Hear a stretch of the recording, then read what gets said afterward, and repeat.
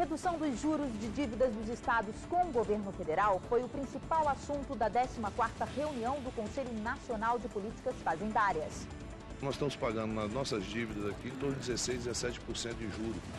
O Instituto de Pesos e Medidas intensifica fiscalizações em lojas de brinquedos. Essa marca que tem a informação do órgão certificador e o atestado de segurança. Veja também nesta edição.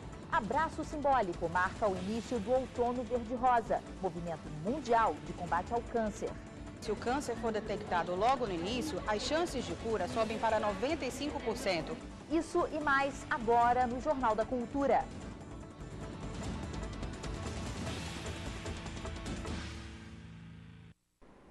Olá, boa noite para você.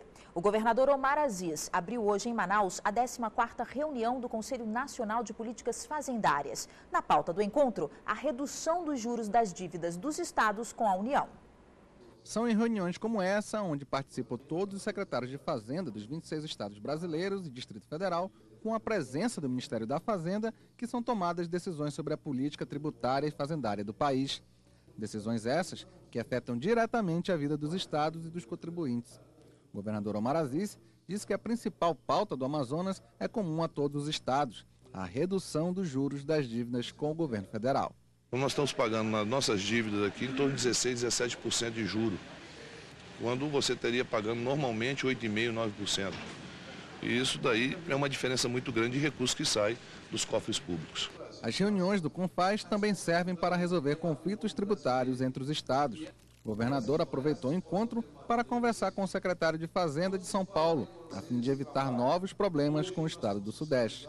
São Paulo sempre nos causa algumas preocupações e surpresas e é importante que a gente tenha esse diálogo e é através do diálogo que nós, que nós podemos é, ter ganhos maiores aqui para a Zona Franca de Manaus. Durante o encontro, o secretário de Fazenda do Amazonas discutiu a responsabilidade do Amazonas e do Pará sobre o ICMS do transporte intermodal entre os dois estados, cuja indefinição prejudica o Amazonas. Por exemplo, se a carreta sai do estado do Amazonas, chega no estado do Pará e lá pega uma, um cavalo mecânico e vai até o destino, logicamente não incide o novo frete. Mas em alguns casos a carreta sai de Manaus, vai até o estado do Pará, lá ele é descarregado, e é colocado em outras carretas para outros destinos. Então isso tem o um entendimento que se trata do novo frete. Ao seu novo frete, o imposto incidente sobre aquele frete caberá à origem, a, no destino. Quer dizer, no caso, o estado do Pará, na hora que sai a mercadoria de lá para outro, para outro estado. Com a aproximação do Dia das Crianças, o Instituto de Pesos e Medidas do Amazonas intensificou as fiscalizações nas lojas de brinquedos em Manaus. Eles buscam identificar e retirar das prateleiras produtos que não atendam às exigências do Inmetro. É nessa época do ano que os preços dos brinquedos começam a chamar a atenção dos pais. Mas esta não deve ser a única preocupação. A qualidade do produto também deve ser observada. O IPEM já fiscalizou, desde a última segunda-feira, 260 lojas de brinquedos e a meta é analisar 80 mil produtos.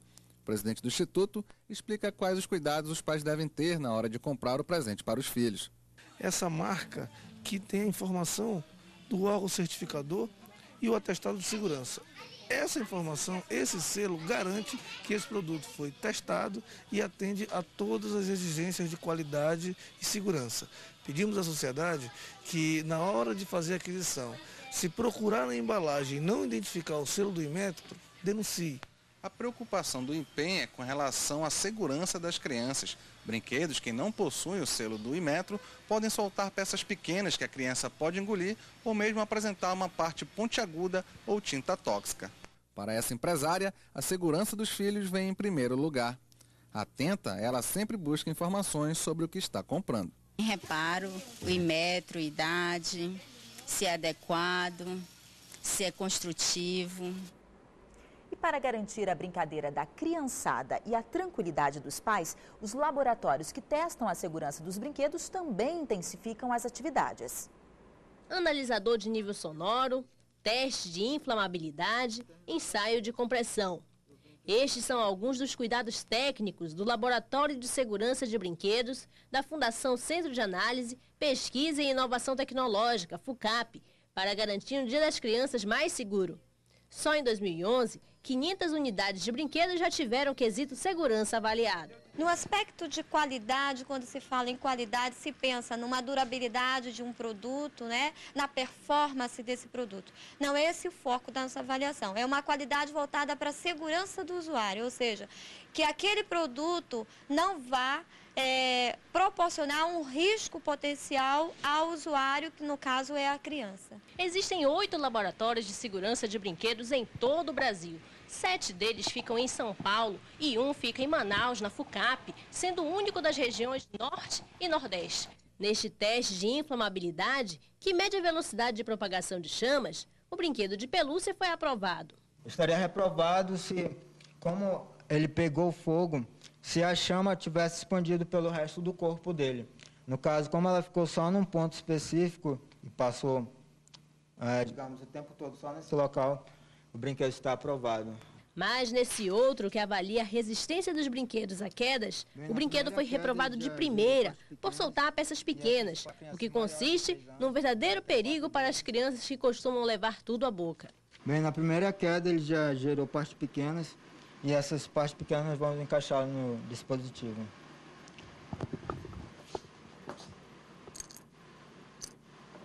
No caso, como encaixou totalmente aqui no, no, dispositivo, esse brinquedo já estaria reprovado por conter partes pequenas. Já na primeira queda. Já na primeira queda. Veja ainda nesta edição, contagem regressiva para o Boi Manaus. E já no próximo bloco, as comemorações do Outubro Verde Rosa em Manaus já começaram. A gente volta no instante.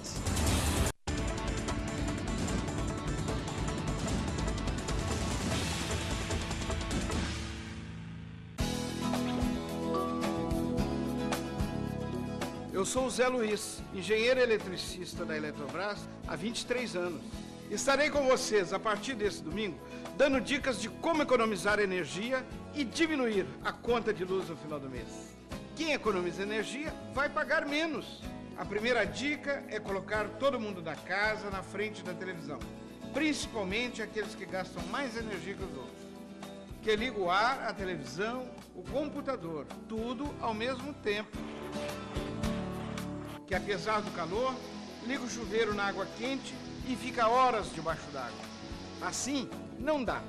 Geralmente não é ele que paga a conta. Com o verão quentíssimo que está aí, temos que aprender a usar energia com eficiência e racionalidade. Quem gasta menos, paga menos.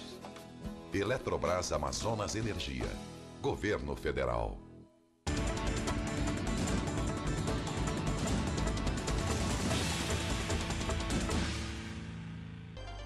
E agora a previsão do tempo para este fim de semana, de acordo com o INMET.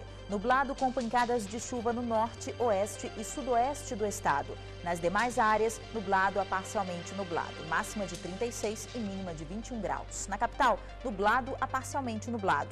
Máxima de 35 e mínima de 24 graus. Hoje foi lançado o Guia dos Direitos da Gestante do Bebê, uma parceria entre Unicef, Ministério da Saúde e Secretaria de Estado da Saúde. O guia traz informações sobre os direitos da gestante e da criança, além das responsabilidades dos gestores da saúde com relação a esses aspectos. São dados sobre o pré-natal, parto humanizado e o pós-nascimento da criança. A publicação faz parte das ações do programa Rede Cegonha do Governo Federal e do selo Unicef Município Aprovado na Amazônia Legal. O interessante da, dessa publicação é que ela não é somente um guia em si, né? É, a gente entende, o Fundo das Nações Unidas para a Infância, o Unicef, entende que em parceria com o Ministério da Saúde, isso pode ser um instrumento, uma ferramenta de controle social. Para a aplicação do que a cartilha ensina, durante toda esta sexta-feira foi feito um treinamento com profissionais que trabalham diretamente com gestantes e bebês.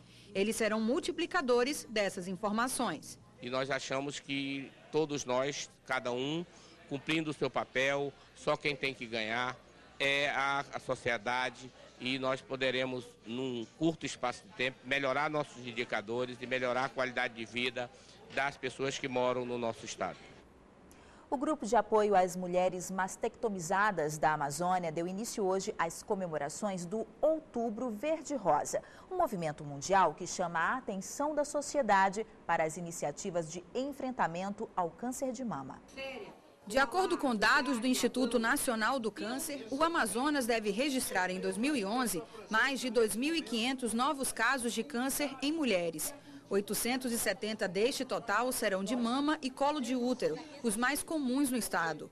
Uma das recomendações para tentar diminuir os índices é fazer exames anuais. De acordo com os especialistas, se o câncer for detectado logo no início, as chances de cura sobem para 95%. Por isso, a importância da prevenção e dos exames periódicos. Quanto mais eu é, tenho cuidado com a saúde, menos chance de vir ter a doença, isso acontece. E quando ela acontece, eu consigo identificar em fase muito precoce e o resultado dos tratamentos é, é superior e nós curamos as pessoas. E por isso, hoje foi dada largada nas atividades do Outubro Verde e Rosa. A primeira atividade foi um abraço simbólico ao redor do prédio da Fundação Secom, hospital responsável pelo tratamento oncológico do Estado. Durante a solenidade de abertura, a primeira-dama do Estado anunciou mais investimentos para a prevenção do câncer. Cada interior terá dois mamógrafos e alguns terão, é, terão mamógrafo e alguns terão dois, é, dependendo do número de população. E o governador Omar Aziz também tem projeto para colocar cada um também no barco pai, para que faça isso nas comunidades indígenas e rurais. E a programação do Grupo Gama continua para os próximos dias. Amanhã nós temos a caminhada, a segunda caminhada da Esperança pela Vida contra o Câncer. Aí vem no dia 7, nós temos a programação, assim como você está vendo, é, só não tem a imprensa, né? Mas é lotado assim, a faixa de 200 pessoas toda sexta-feira, porque vem muitos para dar uma palavra amiga, para levantar a autoestima de quem está precisando. Veja a seguir, 24 de outubro, aniversário de Manaus. E a cidade já se prepara para festejar com muita toada. É o que você confere depois do intervalo.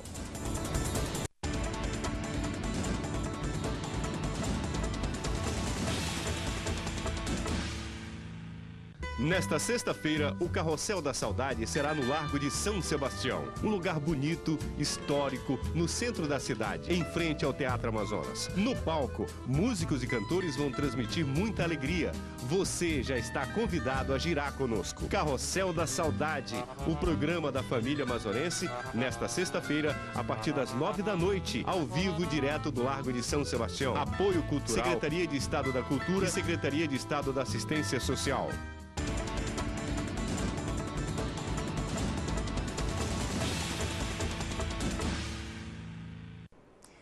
Dia 24 de outubro é aniversário de Manaus e a cidade comemora a data com o já tradicional Boi Manaus. Mas a festa começa dias antes, na Feirinha do Tururi, onde a toada de boi bumbá dá o tom e comanda o ritmo. Na quinta-feira começa a programação da Feirinha do Tururi. A prévia do Boi Manaus vai contar com a participação de mais de 30 artistas em apresentações diárias até o dia 20 de outubro. No lançamento da festa, que este ano traz o tema Todas as Tribos, o presidente da Fundação Municipal de Eventos e Turismo, Manaus Tour, garante a interação de várias culturas. Este ano o tema é tribo, então é a dança de todas as tribos, a reunião de todas as tribos, a grande da Bacuri, né? Isso não só as tribos indígenas, mas todas as tribos. Você pega a tribo da sua família, vem para cá, vem curtir, porque vai ser uma festa maravilhosa e com novidades. Gente voando, rapel. Bom, não posso falar tudo, mas vai ser bom demais.